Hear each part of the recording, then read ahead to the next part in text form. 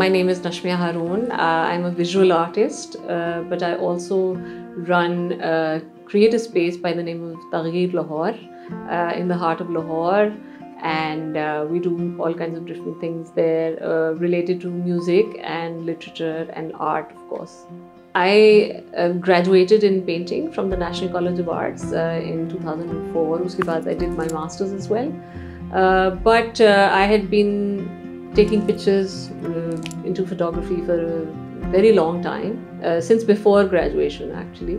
And uh, they kind of uh, remained as a parallel thing in my life. And uh, I have been practicing photography for almost uh, 22 years now. And that's just the nature of my work that I've been able to handle everything. I'm more of a multitasker. I think there have been very, very many defining moments in my life, but uh, I feel like at a certain age now, um, music has really changed my worldview about a lot of things, and it comes from a place of um, creativity, of course, but also from a place of spirituality, I believe. I'm into all kinds of music. Uh, uh, everything that comes in between um, heavy metal and Eastern classical music, everything in between that. But I, I listen to a lot of jazz now.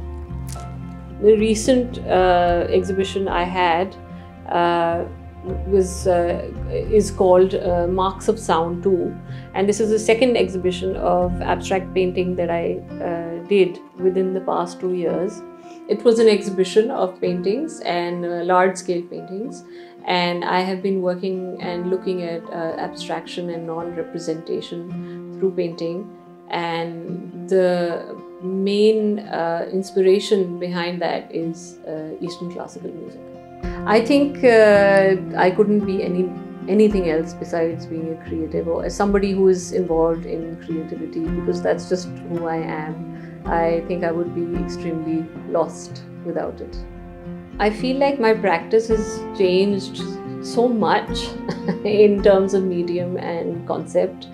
Uh, so, the final thesis work for my MA program was a structure I made in scaffolding around the um, National College of Arts main courtyard fountain. And that was a very challenging uh, yet very fruitful, I felt, uh, very defining moment for my career. Um, I'm particularly, it, it, it made me feel like, okay, this is something that I maybe I did a good thing with it. Well, at that time, I was uh, Lahore was being Haussmannized, meaning that it was there were a lot of physical changes happening between Lahore.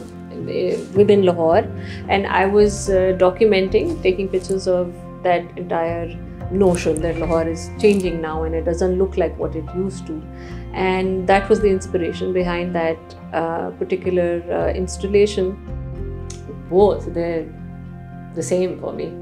I work in in both mediums and it all depends on what the work is asking for actually. The work defines the medium itself. The idea defines the medium itself.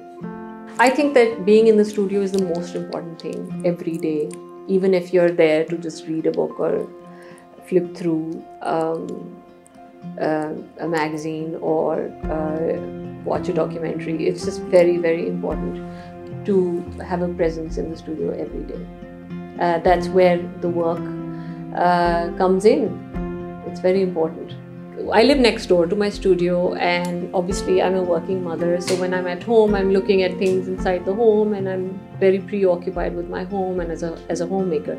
But as soon as I enter my studio, it doesn't matter whether I'm tired or unhappy or anything or agitated. I just coming, stepping into the studio gives me so much energy and that's the kind of environment and that's the kind of setup every artist needs to make for themselves. They have to they have to create that environment to in order to produce work and put in the hours so the first time I stepped into the old, the actual initial uh, Zeitgeist store, I remember just stepping in and just being transported into some other time because it's it has this very timeless look from like the floors and the walls and everything being dark wood and it looks like you've gone into one of those beautiful old tailor shops where they make like they custom make things for you. It's really sweet. It's really homely. Yeah.